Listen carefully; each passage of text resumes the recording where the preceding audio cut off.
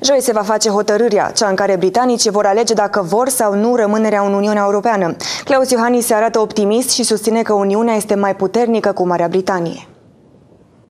Șeful statului Claus Iohannis și-a exprimat opinia conform cărea Marea Britanie are nevoie de Uniunea Europeană. Intenția de vot s-a reechilibrat în ultimele sondaje, motiv pentru care președintele își permite să mențină o atitudine optimistă referitoare la referendum. Eu în această chestiune mă număr printre optimiști. Am fost de la început de când a apărut uh, chestiunea Brexitului dintre uh, șefii de stat care am spus că trebuie să fim uh, de partea uh, Marii Britanii și de partea Europei și am încurajat întotdeauna să se voteze pentru rămânerea în Uniunea Europeană. Președintele statului german Gauck s-a arătat plăcut impresionat de încrederea românilor în Uniunea Europeană. Ba chiar a declarat că un astfel de entuziasm ar fi binevenit și în alte state din UE, aceasta din urmă aflându-se într-o situație specială.